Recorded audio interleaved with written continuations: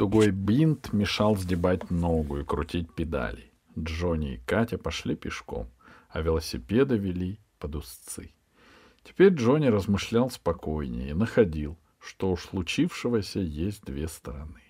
Конечно, будут лишние хлопоты с бритьем, но в то же время он, Джонни Воробьев, станет единственным в мире человеком, у которого на коленке растут волосы. А быть в чем-то единственным всегда приятно. Возможны известность и слава. Джонни подумал, не поделиться ли этой мыслью с Катей. Но Катя шла какая-то рассеянная и смотрела под ноги. Вдруг она сказала, а все-таки Шестопалов молодец. Дурак он и нахал твой Шестопалов, моментально вспылил Джонни. Почему это мой? А кто все время Вовочка, Вовочка? А как бы я его упросила? С людьми надо лаской. Вот попробуй сам когда-нибудь, увидишь. Джонни попробовал, когда начинал разговор с Верой Сергеевной. Вера, скажи, пожалуйста, не могла бы ты объяснить мне, где живет Валентин Эдуардович? Извини, что я тебя отвлекаю, но мне очень-очень надо. — И нежность не помогли. «Уйди, чудовище!» — сказала Вера. «Ты хочешь сделать ему очередную гадость?» Джонни потупил глаза. «Я хочу извиниться за тот случай». Вера остолбенела. Она уронила черный грифель, которым красила ресницы, и забормотала. А, то, тогда я... Да, конечно, сейчас, Женечка, а это правда? Честное слово. — мужественно сказал Джонни. Вера суетливо написала ему гостиничный адрес. — Только ты, Женечка, сегодня же, а то он завтра утром уедет. — Ой, он же хотел послезавтра. Его вызвали в институт принимать вступительные экзамены. Завтра в девять у него последняя лекция, а потом он на поезд. Ты иди лучше прямо сейчас, он у себя. Джонни и сам понимал, что надо спешить. Но Вера уговорила его сперва надеть чистую рубашку, а потом припудрила синяк, который стал еще светло-желтым и, на... и называться синяком не имел права. Видимо, она сбегала к телефонной будке и предупредила Валентина Эдуардовича, потому что он ждал Джонни. Он встретил его у входа в гостиницу, сказал надутой администраторше «это ко мне» и заговорил с Джонни, когда еще шли по коридору. Женя, я чрезвычайно рад, что вы пришли, но вы э, совершенно зря волнуетесь по поводу того случая. Уверяю, я на вас не в обиде. Вот моя комната. Вот, садитесь в кресло. Наоборот, ваше выступление доставило мне большое удовольствие. Оно было в меру темпераментным и крайне актуальным. В самом деле, эти безобразные современные постройки среди исторических кварталов у самого крепостного холма. Это чудовищно. Все-таки я виноват, вздохнул Джонни, останавливаясь у громадного кресла. Вы уж извините меня, Валентин Эдуардович, но у меня еще один вопрос можно? Ну, разумеется, прошу. А можно прямо? Конечно. Совсем прямо. Да, да, Жень, я весь внимание. Ваша прямота мне весьма импонирует. Джонни встал на кресло, уперся подбородком в его шершавую спинку и поднял ясные глаза.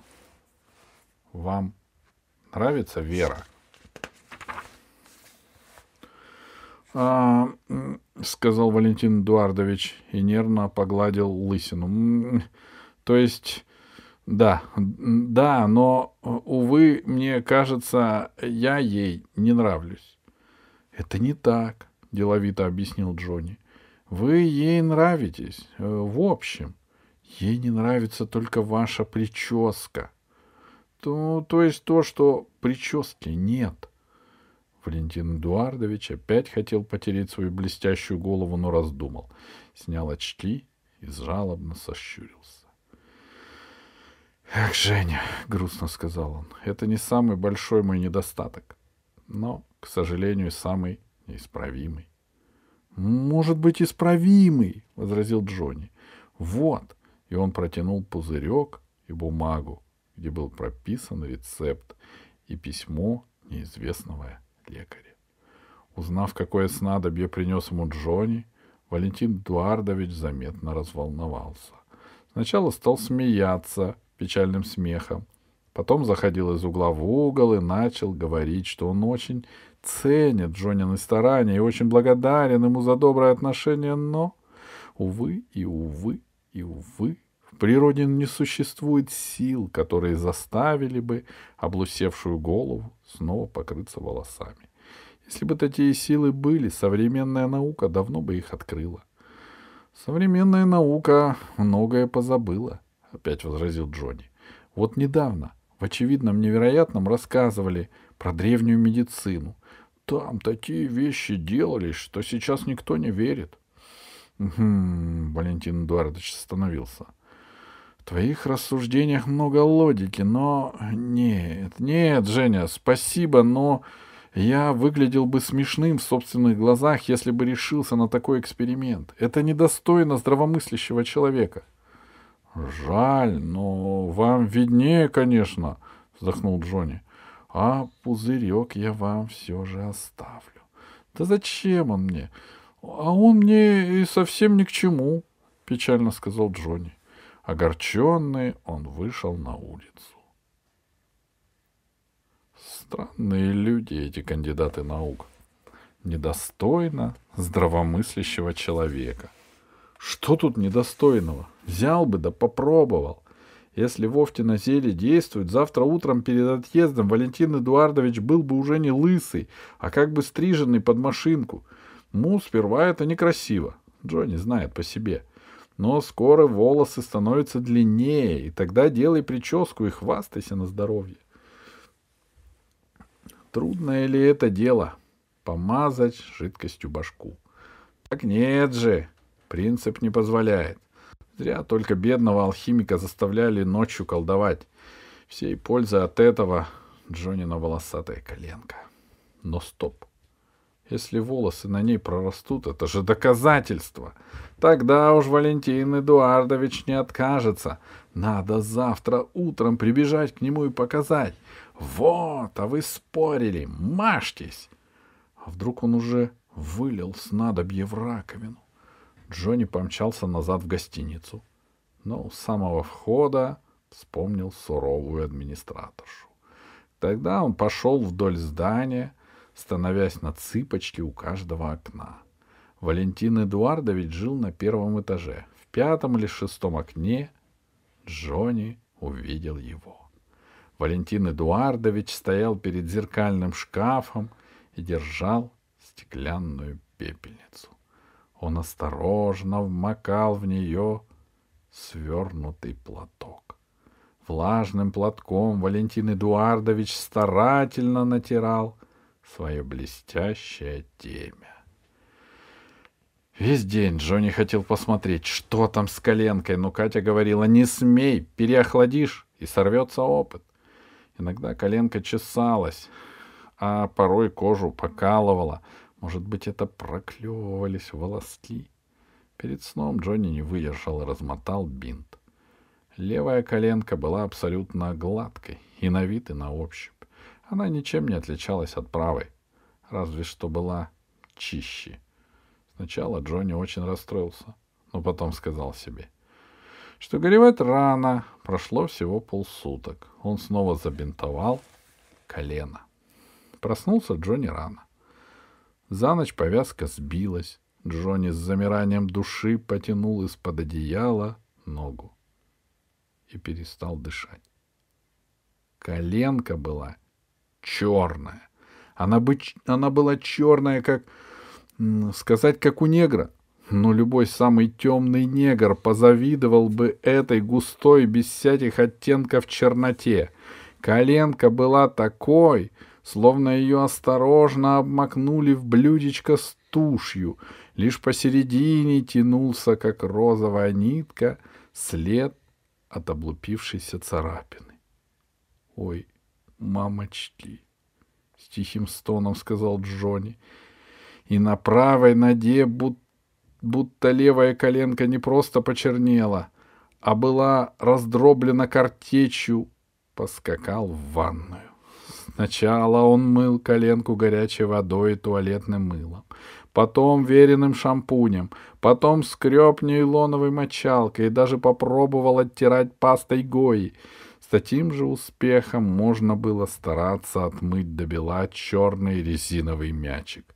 Джонни лишь добился, что коленка стала блестеть, как носик офицерского сапога, начищенного перед парадом.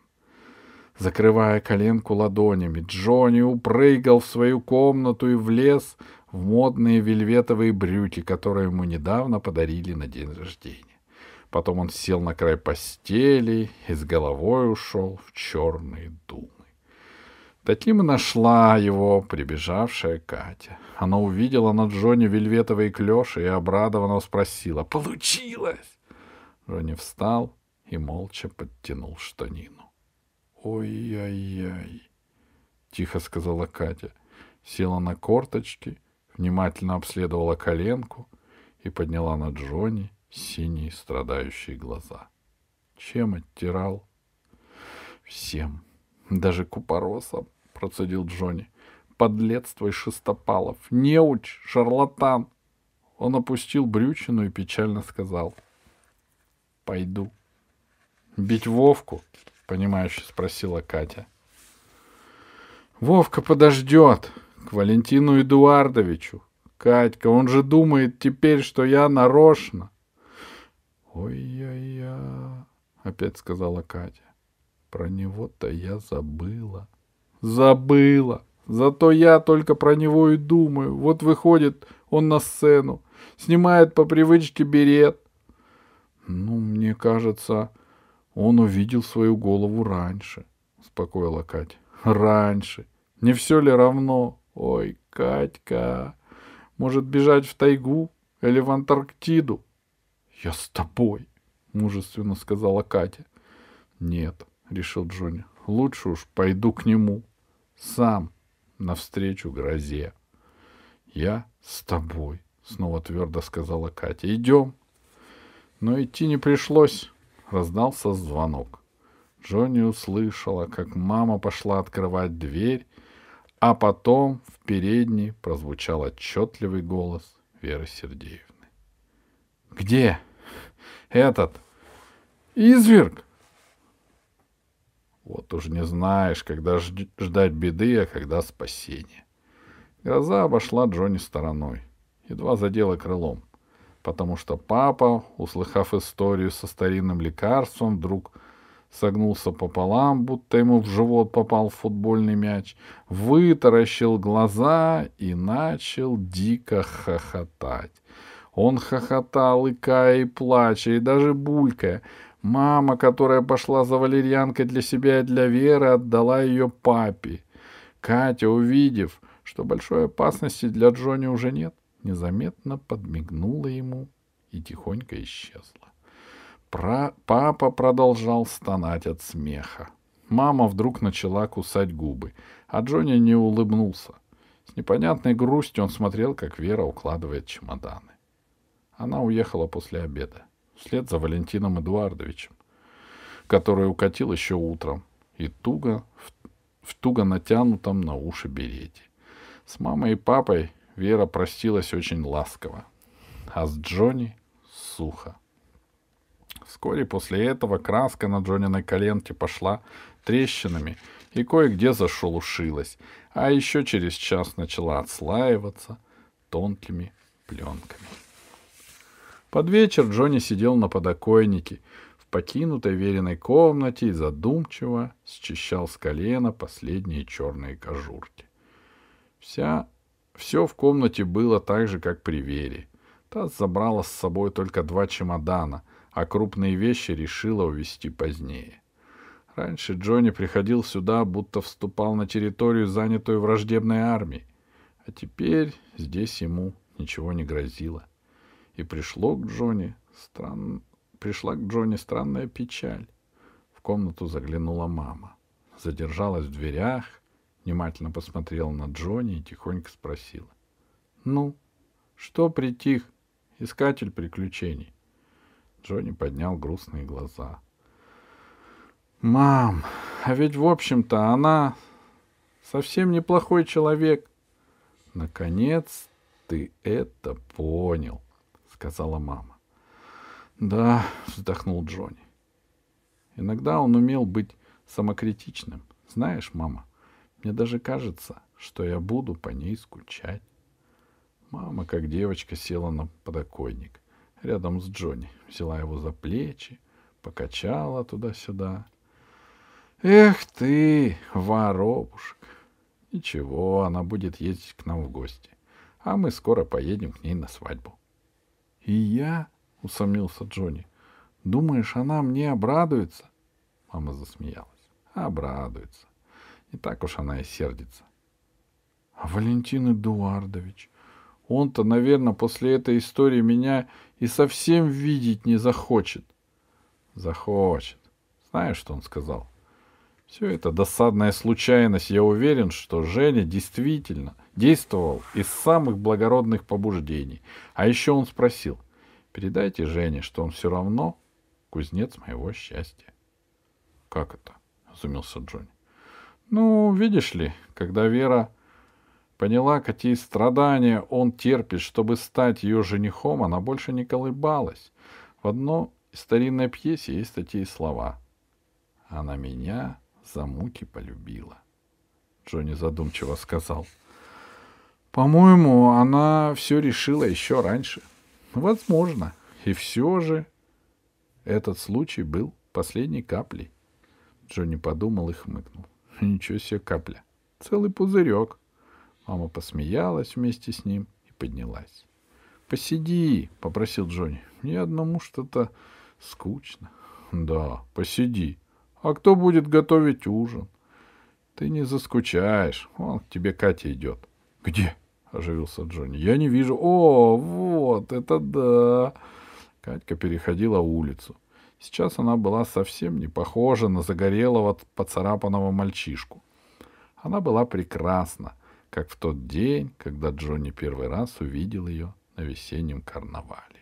В светлом пышном платьице и белых босоножках она походила на маленького лебедя из балета Чайковского, который недавно показывали по второй программе.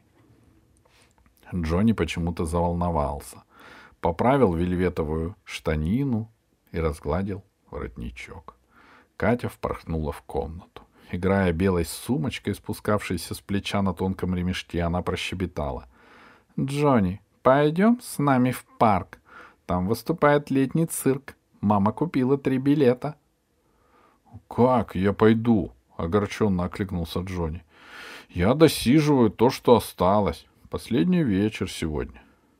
«Отпросись», — пританцовывая сказала Катя. «Опять просить? Ну уж фигушки». Тогда я сама. Она выскочила за порог и через полминуты привела за руку Джониного папу. Поглядывая на Джонни, папа сказал. Вам, Екатерина Дмитриевна, я ни в чем отказать не могу. Этот герой может считать, что получил помилование. Не надо мне никакого помилования, ощетинился Джонни. Здрасте, я ваша тетя. А что тебе надо? Милую тех, кто виновен. Ага, а ты, конечно, во всем прав, так? Так, задумчиво сказал Джонни. И значит, по-прежнему будешь кулаками выяснять отношения с этим э, шпуней. Джонни подумал. Нет, пожалуй.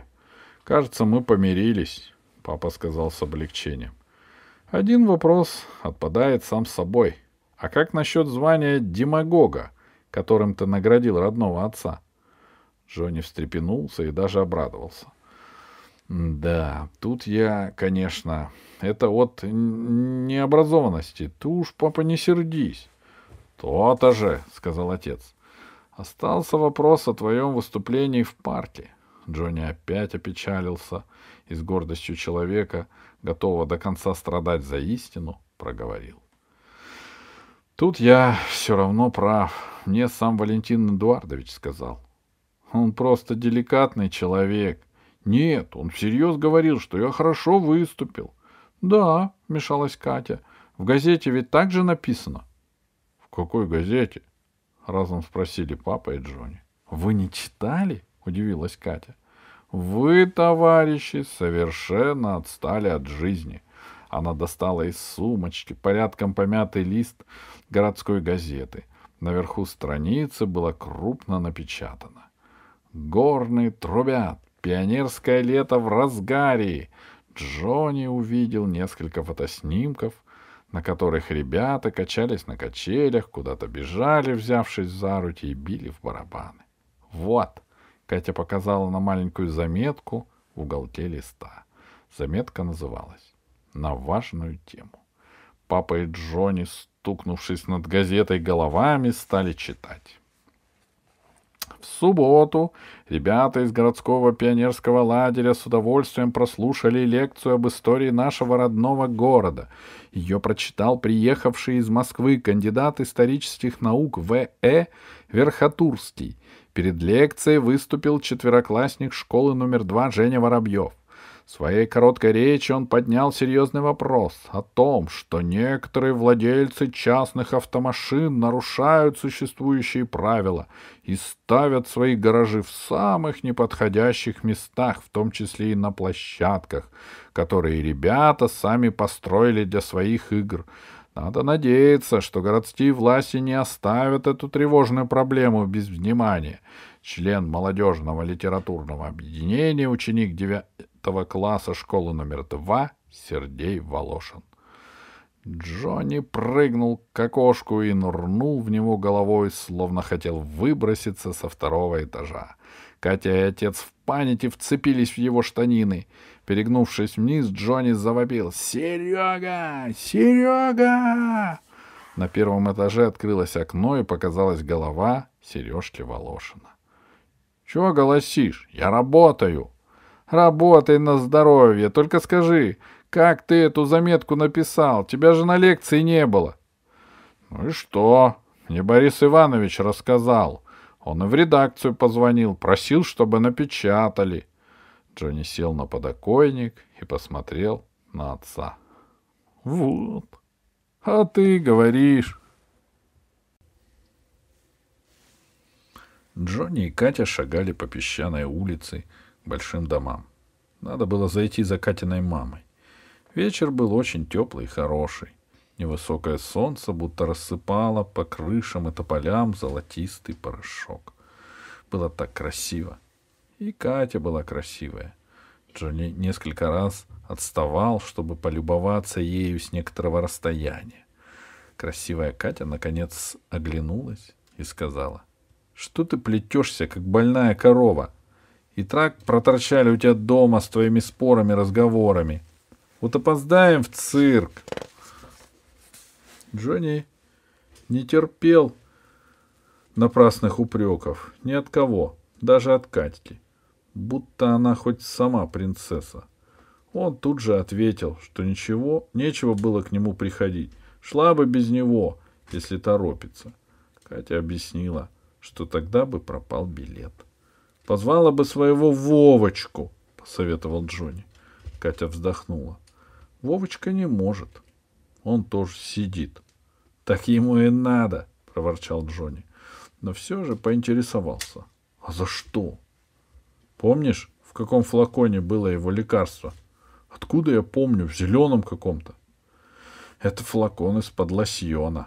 Из-под чего? Ну, жидкость такая, вроде одеколона, чтобы освежаться после бритья. А, знаю, у папы есть, ну и что? Катя печально сказала. Ничего особенного. Вчера утром Вовтин папа перепутал флаконы. Он протер нашим лекарством побритые щеки.